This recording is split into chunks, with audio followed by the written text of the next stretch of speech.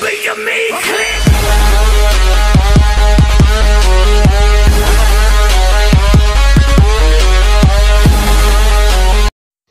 بعد أن تداول رواد موقع التواصل الاجتماعي صورة لاعب كرة القدم المصري ونجم ليفربول محمد صلاح برفقة ملكة جمال مصر سونيا جرجس تساءل المتابعون حول هوية هذه الفتاة وتصدر اسمها التراند وسونيا ولدت في مصر وتعيش في إيطاليا. انطلقت لتعمل في الإمارات كمديرة في فندق في دبي. باعتبارها درست التسويق في الجامعة.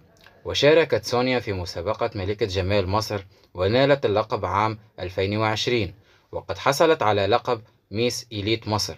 وسونيا ولسونيا جرج- جرجس شقيقتان هما سوزانا وسيمونا وشقيق أصغر اسمه جرجس. وكانت سونيا قد نشرت صورة لها مع محمد صلاح واقفين جنبا إلى جنب وعلقت سونيا على الصورة أنا سعيدة برؤيتك اليوم الأمر الذي دفع بالمتابعين لمحاولة معرفة معلومات عنها.